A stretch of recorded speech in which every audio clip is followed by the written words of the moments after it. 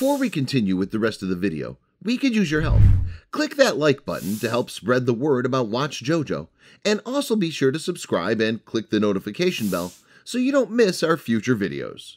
This elephant lost her left front leg to a landmine, but how a doctor is helping her is incredible.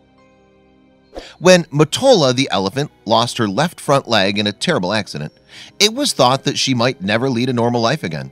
After all, that's an awful lot of weight to be carrying around on just three limbs. However, thanks to a decade of pioneering treatment, her future now looks bright. Her downward spiral, though, began in 1999 when the then 38-year-old pachyderm stepped on a landmine.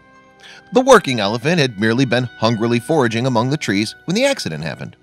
Sadly, the mine, a leftover from skirmishes along Thailand's border with Myanmar, shredded her front left foot and most of her leg.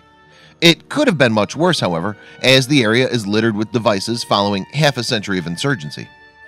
Despite her traumatic ordeal and horrific injuries, though, Motola somehow managed to walk for three days before arriving at a hospital run by Lampang's Friends of the Asian Elephant Foundation. Founded in 1993, the facility helps sick and injured elephants in Mae Yao National Reserve. Naturally, several attempts were made to save Motola's mangled limb, but staff at the hospital were left with no choice but to amputate everything below the knee. Interestingly, the operation broke the world record for the amount of anesthetic needed, which was enough to sedate 70 humans. Motola, though, was forced to hobble around on three legs for two years until she received a temporary canvas shoe. Years of surgery and rehabilitation followed too, until 2006 her first man-made limb was fitted. Despite her hardships, however, the elephant was able to live a relatively comfortable life. In all these long years, Motola enjoyed a happy life, walking out of her shelter for a sunbath, said Soraida Salwala, Friends of the Asian Elephant Foundation's Secretary General.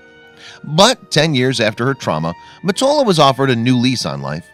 Indeed, with the help of the Prosthesis Foundation, a charity that provides artificial arms and legs to people in need, doctors at the Elephant Hospital set about constructing a state-of-the-art prosthetic leg fit for the pachyderm. Of course, the task wasn't without its challenges.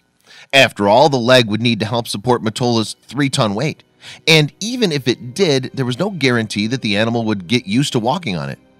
I do hope she'll accept the new leg, Salwala told the Associated Press before the procedure. It would be wonderful to see Motola and baby Mosha walking together side by side. Incidentally, Mosha, a fellow landmine survivor, was taken in by the hospital when she was just seven months old. In 2007, she became the planet's first elephant to benefit from an artificial limb. Motola's 2009 operation, though, was overseen by Dr. Therdchai Jivacate, who invented the prosthetic elephant leg. The orthopedic surgeon who founded the Prosthesis Foundation had previously worked on Mosha's artificial limb. However, things didn't go entirely to plan when the three-ton elephant dented the prosthesis in three places when, a few days after its fitting, she lay down for a rest.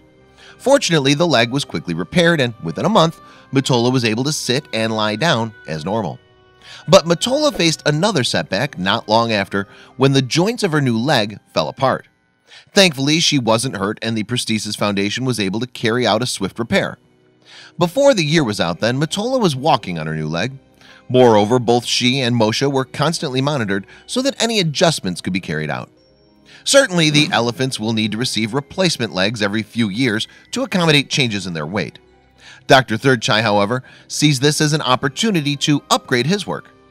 Every time we fix it, we improve it. It's more sturdy, stronger. This is not in the textbook, the surgeon told Reuters.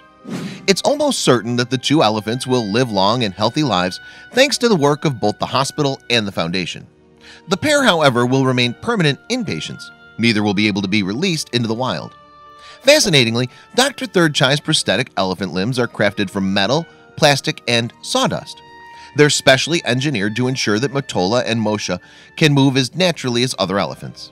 Unfortunately, hmm. there's no guarantee that other elephants won't fall victim to the same fate. In fact, it's estimated that 70% of the Thailand-Myanmar border is scattered with landmines. However, thanks to the technology developed by the Friends of the Asian Elephant Foundation and the Prosthesis Foundation, other maimed pachyderms can receive the specialist treatment they need. Indeed, since its 1993 opening, the hospital has treated 15 elephant landmine victims. Long may its work continue.